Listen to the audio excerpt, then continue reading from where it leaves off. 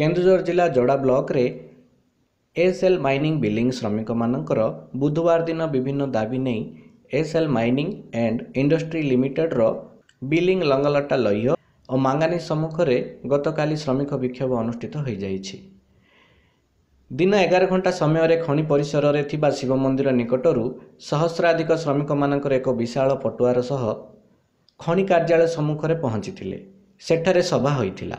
ଅନୁଷ୍ଠିତ ସାଧାରଣ ସଭାରେ ୟୁନିୟନର ସଭାପତି ସାଥୀ ରମକୃଷ୍ଣ ପଣ୍ଡା ସାଧାରଣ ସମ୍ପାଦକ ସାଥୀ ମହେଶ୍ୱର ରାଉତ କାର୍ଯ୍ୟକାରୀ ସଭାପତି ସାଥୀ ବିଦ୍ୟାଧର ମହନ୍ତ ସମ୍ପାଦକ ସାଥୀ କପିଳ ମହନ୍ତ ଶ୍ରମିକମାନଙ୍କର ବିଭିନ୍ନ ଦାବି ଉପସ୍ଥାପନା କରିଥିଲେ।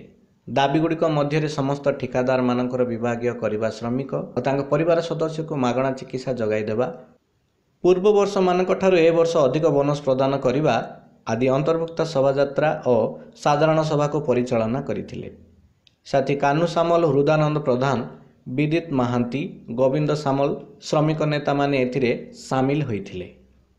କେନ୍ଦୁଝର ଜିଲ୍ଲା ଯୋଡ଼ାରୁ ସୀତାରାମ ଦୀକ୍ଷିତଙ୍କ ରିପୋର୍ଟ। ଉତ୍କଳ ଖବର।